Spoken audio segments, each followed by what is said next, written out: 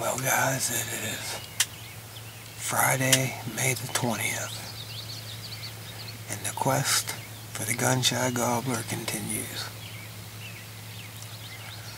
We had him pretty close yesterday morning. we had him at about 70 yards, couldn't get a shot at him. And uh, he's running around with seven jakes and uh, couple hens. And that Jake's got in front of Joey and for some reason, I don't think they saw him, but they just, they didn't feel right. Something was up. They spooked. Um, so I came back yesterday afternoon, thought I'd try it in the evening. And uh, when I was heading to the blind, there was a Jake and a hen 20 yards behind the blind. And uh, him and the other six Jakes and a hen were about 200 yards down below here in the field. And uh, at about a quarter after six, they ended up popping out right in front of me here. And they were out about 70 yards from me too. And wouldn't come any closer, so. But I knew they'd be back where they always are, because when he went into the woods at about 7.30 last night, he started gobbling before he got to his roost point, so. And it's, uh, 20 after 5 right now, and he's already gobbled once, so he's right back where he always is we uh, got a little different setup going on here today, so got to keep trying to switch things up on them. So hopefully it pays off, but we'll see what happens.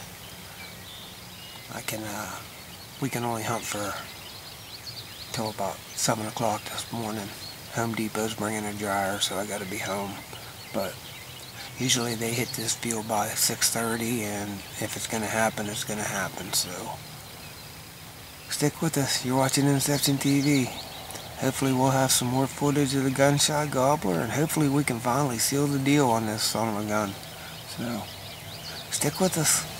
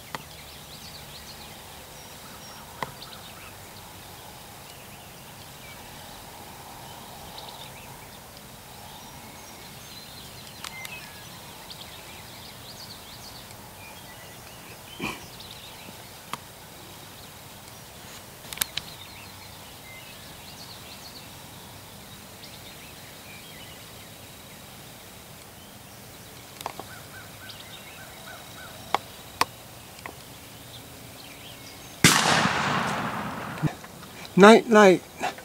Finally, the gun-shy gobbler is done. Yes!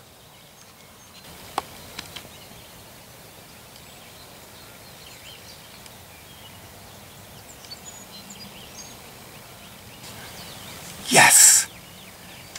Yes! Joseph just put the smackdown on the gun-shy gobbler. I gotta be home at 7 o'clock. Home Depot's bringing a dryer that I had ordered. And these birds have been hitting the ground and hitting this field at 6.30. So I told him, if it's going to happen, it's going to happen fast.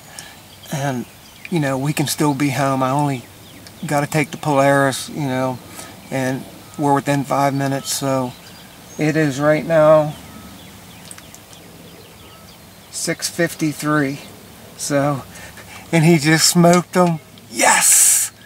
Yes! The quest for the gun-shy gobbler has just ended Friday, May 20th at 6.53 a.m. You're watching Inception TV. Better pictures yet to come. Stick with us.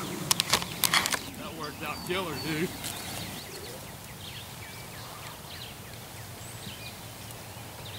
The gun-shy gobbler has finally hit the dirt.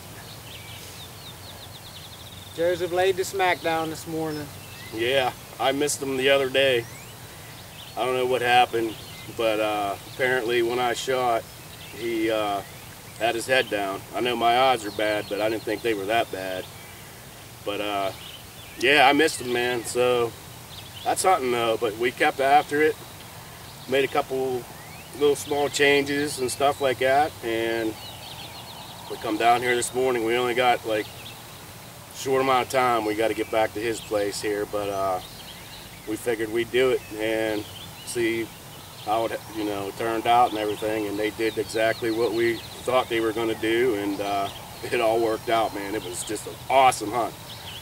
So I'm tagged out. Um, but we're gonna get my brother here one we still got some time so uh, stick with us man You watch Inception TV Inception TV getting it done yet again in PA. Friday, May 20th. Joseph's tagged out. 6.45 a.m. I think he shot it at 6.53. Love you, brother. I love you too bro Yeah! Okay, Joseph's going to measure with the gobbler gauge, see how big the beard and spurs are. What do we got? nine inches a little over an inch It's a nine inch beard and a little over an inch spurs. Just a hair bigger than your dad's. Awesome.